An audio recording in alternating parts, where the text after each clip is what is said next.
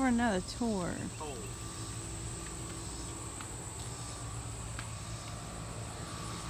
So we're take, taking the bathroom out.